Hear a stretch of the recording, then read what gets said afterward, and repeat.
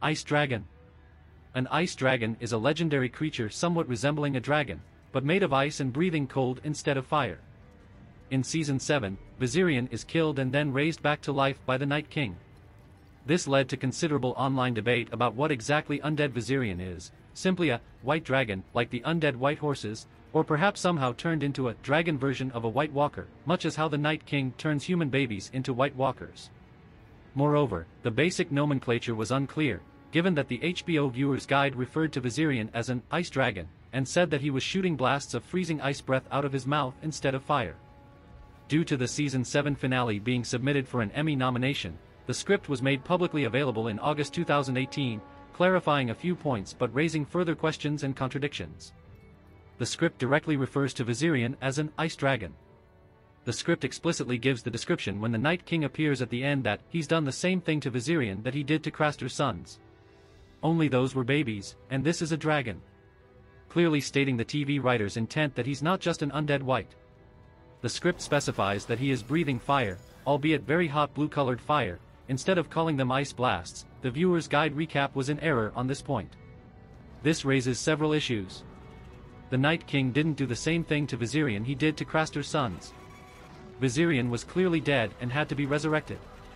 In contrast, Craster's sons explicitly needed to be delivered alive to be turned into White Walkers, otherwise the White Walkers would just be converting any human babies they found from slaughtered wildling villages, etc.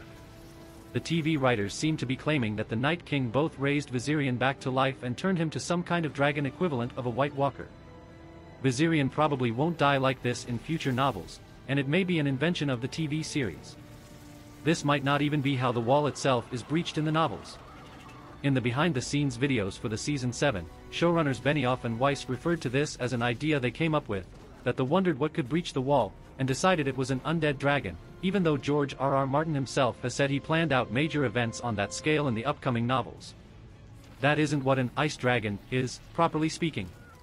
An ice dragon is a mythological creature of legend in the world of Westeros, a dragon made out of living ice, much as the ice spiders of legend, which have been mentioned in the TV show, were literally made out of ice.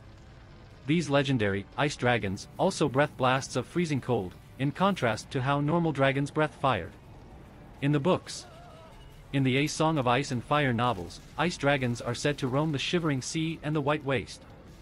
They are said to be larger than the dragons of Valyria and made out of living ice, with pale blue crystal eyes, vast translucent wings and very cold breath, which can instantly freeze people and things solid, a mirror opposite of how the breath of regular dragons burn them.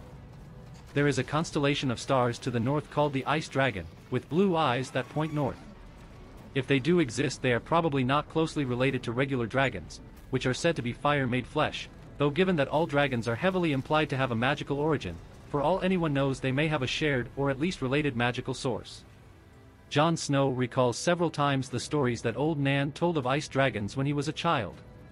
George R. R. Martin published a children's novel in 1980 titled The Ice Dragon, which follows a young girl who forms a bond with an ice dragon. The world that it is set in contains several similarities to the world of A Song of Ice and Fire, but it also contains several differences.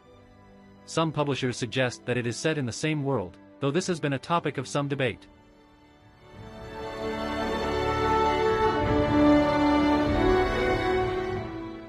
If you like this content, don't forget to like and subscribe. See you later, bye bye.